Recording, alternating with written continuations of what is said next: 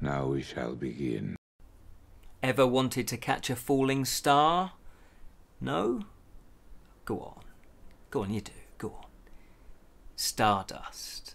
That's what it is.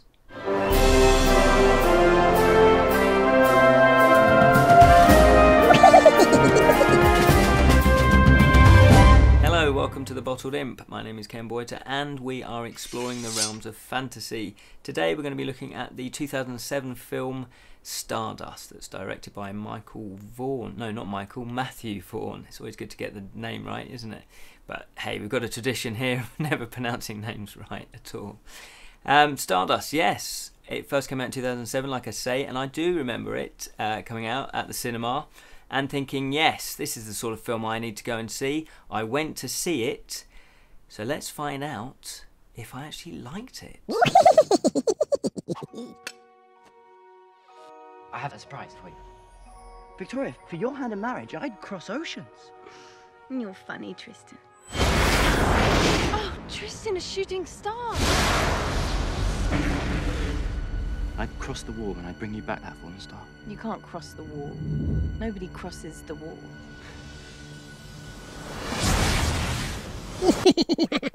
Stardust. What is Stardust all about? Well, it's set in England. There's three main plots, one of which is in a little village in England, and the main character here is a character called Tristan Thorn. He's a shop boy, a very humble, very kind, very genuine shop boy, and he is infatuated by a girl named Victoria.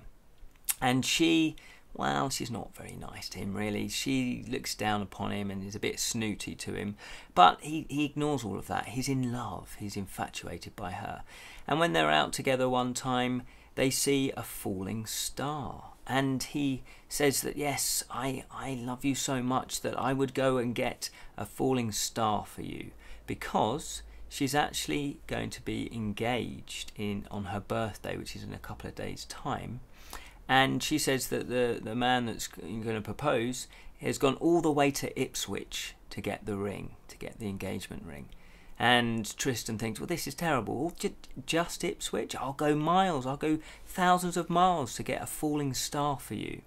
So that's one of the plots. The next plot is about a kingdom. And this kingdom, the king is dying. And he has four children, four sons. And they are all vying to be the next king. A successor must be chosen. Now, the tradition is that, well, it's the last brother standing, really, the last son standing. So it can get a little bit hairy when they're trying not to uh, to uh, well they're trying to kill each other let's let's be honest about it. And the king thinks well okay that's all very good but how about let's make it slightly harder as well. He has a, a jewel that is an heirloom a family heirloom and he throws that high into the sky and it knocks out a star and that's why there's a falling star. And so he says to his sons whoever gets the jewel is going to become king and so obviously they're off going to try and find this jewel. Now, the third uh, strand of the plot is all about witches. There's three witches, and they crave immortality. They're all old and haggard, and they look horrible. But they're very vain, and they want to look young again. And the way they can look young is by capturing a falling star. And as they've noticed that there is one, well, then they too are trying to find this falling star. In terms of the characters and the character development and the actors, well, everything is really good in this film. The actors are really well cast. You have Michelle Pfeiffer, who is the main witch, and she is brilliant in this film. Really, really good. She's all looking old. They've really made her look ugly. She sparkles through all of that.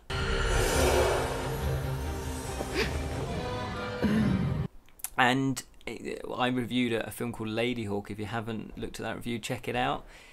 Ladyhawke, if you're watching, the directors and the writers and the people that cast that film, that's how you use an actress like Michelle Pfeiffer. Okay? Brilliant. She can act. She's a fantastic actress, and that's what they've done. She really brings this uh, film to life. There's other good uh, actors in there. Peter O'Toole as the king. There is Ricky Gervais makes a little little uh, guest appearance. I think that was the first thing he did uh, you know when he when he became famous and, and big after The Office. And yeah, it's a pleasant surprise as well. I didn't know he was going to be in that when I first watched it. You'd better be telling the truth, you two-faced dog. I can get you one of them, actually. Very good guard dogs. They can watch the back and the front door at the same time. Enough. Um, you have Rupert Everett as one of the uh, princes, really good. There's uh, it, all the cast is really strong in this film, and it makes such a difference when they when all the character development is good. They're well written. All the words are economical. There's no wasted scenes. Um, does the story work? Yes, it does. All the three subplots, well, sorry, all the three plots, they're not actually a main plot and a subplot. There are three main plots, and that's quite ambitious for a feature film. So, if you have a film that's an hour and a half or two hours long, you haven't really got loads of time to really do lots of plot points and lots of twists and turns. Normally, you do on one main plot, but this time they've put three in, and it works. It doesn't feel too complicated. You don't lose track of what's going on. But every single scene, as I say, is full of plot, full of story, and full of character. The production values are fantastic. All the special effects work really well. I think there was only one bit where I thought, oh, that's a bit CGI-y, but that was a really minor bit near the near the beginning of the film. We're talking at the beginning of the film actually. Ian McKellen is the narrator, and just hearing his voice, just sort of, it's like silk it really sets the tone of the fantasy in this film. The fantasy level is high. It drips fantasy, as I say, right from the opening words of Ian McKellen right through to the end credits. It's fantastic. There's magic all over the place, but the way that the magic is set up is that the rules are there and you accept them. They don't get broken, they don't forget about it, and you know, later on in the film, they've done something that they said they couldn't do, that kind of thing it, it works. You believe in the universe. It's a really well done. The the fantasy element is brilliantly done. As I say, the special effects they don't dominate. They're there to serve the story and the characters, and that's what you want in a fantasy film, and indeed a fantasy book. Um, it is based on a novel by uh, Neil Gaiman, and he is, you know, a master at fantasy. And I believe that obviously, because in a novel you can go into a lot more depth, like like a television show as well. Nowadays, you know, TV shows are 22 episodes long normally, sometimes, you know, and so you can do three or four series worth. You can really go in, in depth with the characters. Likewise, you can do that with a book. They've managed to do this in this film as well, and it's not a particularly long film. So hats off to them for doing that. It's brilliant. Where's the girl? You have seconds to live. Now we shall begin. I what you are.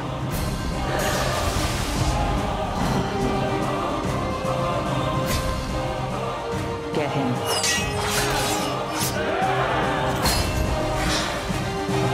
It's just you and me now. Not for long.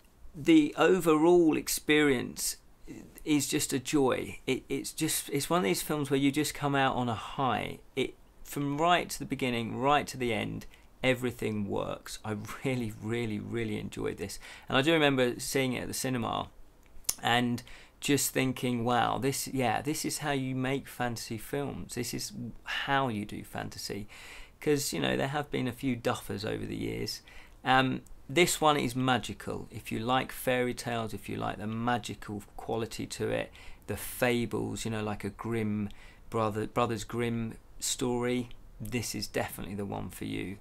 It did make a, a profit. It made, I think, about sixty-five million dollars worldwide. It was made for seventy million. It made sixty-five, so that's pretty good going.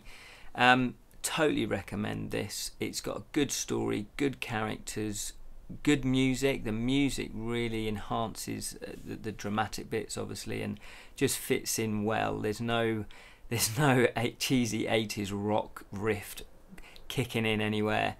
Really well done. Just a fantastic film. Can't recommend it enough.